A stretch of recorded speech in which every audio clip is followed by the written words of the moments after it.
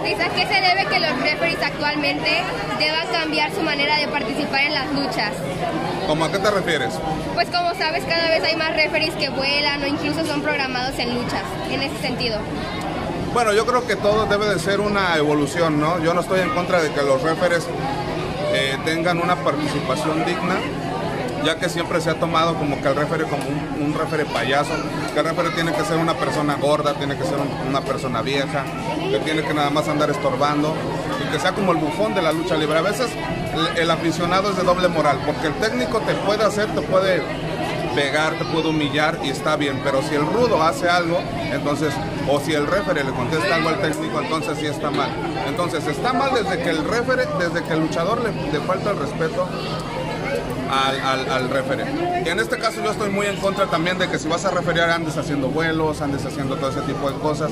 Hay, hay un límite, hay un límite dentro de todos nosotros, ¿no? Desde la vestimenta también, desde que aquel que sube en pants, desde aquel que sube en un pantalón con bolsas como de soldado. Yo creo que el referee debe ser pulcro en su vestimenta, pantalón de vestir y una camisa como debe de, como debe de ser este, en, cualquier, en cualquier tipo de, lucha y en cualquier arena. No nada más en una arena grande, no nada más en un evento de televisión, sino en cualquier arena, desde una arena pequeña. Y para terminar, el referee debe de darse a respetar, desde el luchador más pequeño hasta el luchador más grande y el más estrella. Es sorprendente verte arriba del cuadrilátero tirante, siendo referee, pero también en ocasiones luchando. ¿Nos puedes contar sobre tu preparación? Yo desde los 8 años empecé a entrenar lucha libre. Desde lo, yo empecé, mucha gente dice, ¿a poco luchas? Antes de ser referee yo fui luchador. Empecé a luchar desde los 15 años. A los 19 años debuté de referee profesional, o sea que tuve 4 años de, de- de luchador profesional. Posteriormente tuve la fortuna de poder ejercer mis dos carreras y ahora las puedo conjugar no nada más a nivel local como lo es en Jalapa, sino lo puedo conjugar en mi empresa que es Lucha Libre AAA, en eventos de televisión y pues bueno, yo creo que el trabajo ahí está, el trabajo no se hace mal y es con todo con respeto para la lucha libre. ¿Cuál ha sido para ti la clave de tu éxito en el mundo de la lucha libre? Perseverancia, perseverancia, eh, perdón, este, mucha constancia, eh, gimnasio y, y- y estar preparado.